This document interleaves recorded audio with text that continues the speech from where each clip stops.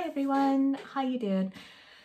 So this week I thought that we would balance out last week's um, serious conversations update with uh, a little bit of humour and a little bit of fun. Um, so today's update is sponsored by the letter V and the word vanity. So taking a leaf out of this Sesame Street book, I thought I'd share a little bit about how I am preparing myself for this journey. So I don't think that I'm massively vain, um, but I like hair, I like makeup, I like clothes, I like shoes. Um, I'd like to feel good about myself and um, one of the big things with HSCT is that the chemo causes you to lose your hair and people um, have asked me if, oh, can you use the cooling cap? Um, but unfortunately we can't. So most people end up bald at some point in the journey. And I have always been the type of person who's been a bit dramatic about hair and uh, been pretty attached to it. I've had long hair um, more than I haven't. Um, and probably the shortest I've ever gone before is about here.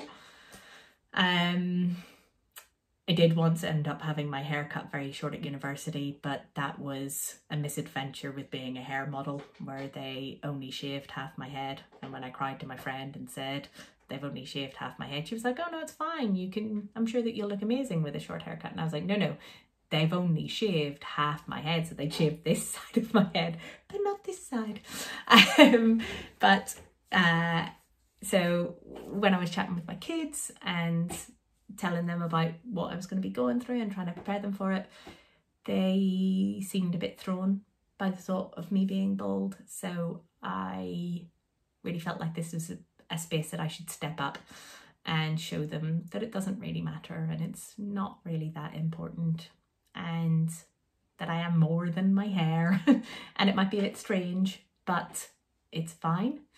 So in order to do that I chatted with the local hairdresser. I've had a lot of fun. They've been amazing, so nice, so kind. And we have tried out lots of different hairstyles and tried out lots of different colours. And I'm a bit of a different shade of blonde now, but the first blonde was platinum blonde. And they were like, we're a little bit concerned that it might fall out. I was like, that's okay, because it's going to fall out anyway, so it doesn't matter. Um, so we just went straight and we went very, very blonde and then warmed it up a bit. And it's been really freeing and it's been a lot of fun and I've really enjoyed it and I'm not as scared. That doesn't mean that I'm not going to cry when I have to shave my head. And but I don't think that'll be about the hair. I think that'll be about mentally preparing myself for the treatment and what I'm going to be going through. Um, I've had alopecia before and that is that's different. Um, I really struggled with that and I think people do. Um, so when I've had it before, I I lost the entire crown of my head and it was the not knowing if it was going to grow back or not. Um, and then it did grow back and it fell straight out again. And I'm really pleased that I have taken the time to have fun and that I've been so wonderfully supported um, in doing that. So I have another hairdresser's appointment booked in before the buzz, so I'll go for something different again and uh, hopefully that'll be fun. Um, the other thing that I have had done is I have had my eyebrows microbladed. And when I told Dom this, he was like, what is this? What is what? Excuse me. so microblading, for those that don't know, is a semi-permanent tattoo where they use a, um, a really fine blade to draw individual hairs on for your eyebrows. Um, although I love all things makeup and hair and, and all of that, I am rubbish with makeup and the thought of trying to draw on eyebrows when I don't have any to begin with um, just scared me too much. So again, um, an amazing business near us uh, in my local village took um, took the time to fit me in. So it's really important when if you do get microblading, before any kind of treatment that you have enough time to heal. So she took me through that and we made sure that we could um, do it and that I would be fully healed before any of my treatment started. So um, I know that quite a few women in the community get that done before they go for their treatment. So it's just something to consider, but you do need a significant period of time to get it done and get it all healed up. And then, so the next thing that I'm really looking forward to, and this is my final one, is I'm really looking forward to being able to wear heels again. So one of my big first relapses was foot drop and I used a walking stick for nearly a year and it took a really long time to recover from.